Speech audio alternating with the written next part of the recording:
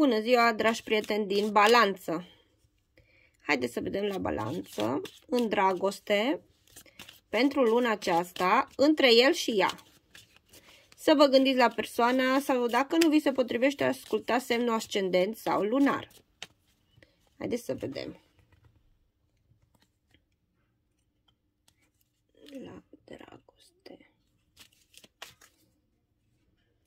Să mai schimbăm așa. Deci, prezentul relației, trecutul ei, trecutul relației, trecutul lui.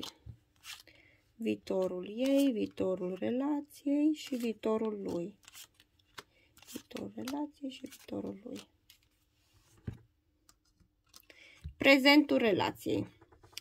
În prezent, ori aveți un copil, ori este o persoană mai tânără între dumneavoastră și această persoană, ori vă bucurați ca un copil, ca niște copii, ca doi copii sau uh, sunteți puțin imaturi, unul nu, știe, nu știți ce vreți, poate și asta. Deci sunt mai multe variante în funcție de ce, uh, ce situație aveți, da? Deci în consultația privată, talarea privată, este, vă dau mai multe detalii. Ea a avut o rezolvare, o reușită, în trecut, în trecutul relației bucurie, ați început. Deci probabil este o relație cu diferi, diferență mare de vârstă.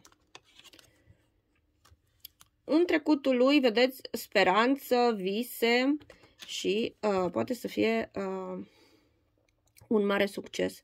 Sau s-a simțit norocos în acest moment. În acel moment când ați cunoscut, când ați început relația. Viitorul ei ea este cu fidelitate, cu mesaje, cu vrea o relație serioasă, este fidelă. Viitorul relației, bucurie. Bucurie foarte mare, vă înțelegeți foarte bine fizic, da? Intim. Asta mai poate să însemne intimitate. Și viitorul lui arată că va avea ceva probleme la serviciu sau ceva supărare trecătoare la serviciu. Dar relația o văd cu bucurie, o văd pe ea cu un secret, poate să mai aibă un admirator secret sau... Dar eu o văd sinceră și o văd fidelă.